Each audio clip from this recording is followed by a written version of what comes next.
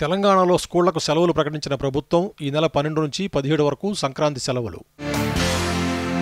ప్రారంభమైన యూపీఎస్సీ ఇంటర్వ్యూలు ప్యానెల్ చైర్మన్గా మనోజ్ సోని. అదానీ గ్రూప్పై సీబీఐ విచారణకు ఆదేశించాలన్న పిటిషన్ను తోసిపుచ్చిన సుప్రీం నిజమే గెలుస్తుందన్న అదానీ చైర్మన్ గౌతమ్. సరిహద్దుల్లో యాంటీ డ్రోన్ రక్షణ వ్యవస్థ చర్యలు చేపడుతున్న కేంద్ర ప్రభుత్వం. న్యూజిలాండ్లో దర్శనమిచ్చిన అరుదైన పక్షి గైనండ్రో మెర్పిక్ అని పిలువబడే ఈ పక్షి సగం ఆడ సగం మగ లక్షణాలు కలిగి ఉంటుందన్న శాస్త్రవేత్తలు. దేశంలో కొత్తగా ఆరు వందల రెండు కోవిడ్ కేసులు తగిన జాగ్రత్త పాటించాలన్న వైద్యులు. పిల్లల్ని కనేందుకు బెయిల్ ఇవ్వచ్చు రాజస్థాన్ హైకోర్టు సంచలన తీర్పు. చిత్తశుద్ధి ఉంటే కాళేశ్వరం అవినీతిపై సీబీఐతో విచారణ జరిపించండి తెలంగాణ ప్రభుత్వాన్ని డిమాండ్ చేసిన బీజేపీ ఓబీసీ మోర్చా జాతీయ అధ్యక్షుడు రాజ్యసభ ఎంపీ లక్ష్మణ్.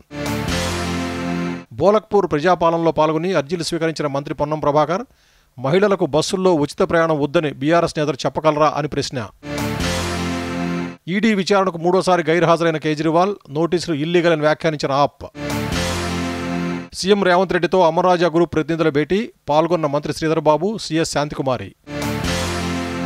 కాంగ్రెస్ నాలుగు వందల ఇరవై హామీలు పేరుతో బుక్లెట్ విడుదల చేసిన బీఆర్ఎస్ హామీల అమలును గుర్తు చేస్తున్నామన్న నేతలు.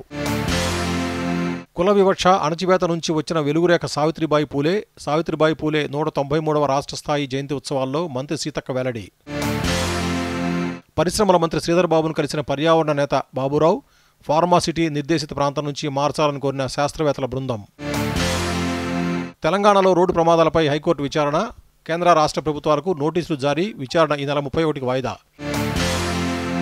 ఢిల్లీ లిక్కర్ స్కామ్లో యాభై వేల పేజీల ఛార్జ్షీట్ యాభై మంది నిందితులు నాలుగు వందల మందికి పైగా సాక్షులను విచారించామన్న ఈడీ. ఈ నెల ఏడు నుంచి సంక్రాంతికి ముప్పై రెండు స్పెషల్ రైళ్ళు. ఈ నెల ఏడు నుంచి సంక్రాంతికి ముప్పై రెండు స్పెషల్ రైళ్ళు. ప్రత్యేక రైళ్ళు అన్నింటిలోనూ first AC second AC third ఏసీతో పాటు స్లీపర్ జనరల్ బోగీలు ఉంటాయన్న దక్షిణ మధ్య రైల్వే. గవర్నర్ నిర్ణయంపై హైకోర్టులో బీఆర్ఎస్ పిటిషన్. శుక్రవారం విచారిస్తామన్న న్యాయస్థానం. ముఖ్యమంత్రి రేవంత్ రెడ్డిని కలిసిన అదానీ గ్రూప్ పెట్టుబడులపై కీలక చర్చలు. కేంద్ర ప్రభుత్వం కీలక నిర్ణయం భారత్ మయన్మార్ మధ్య ఉన్న ఫ్రీ మూవ్మెంట్ రెజ్యూమ్ను రద్దు చేస్తున్నట్టు వెల్లడి.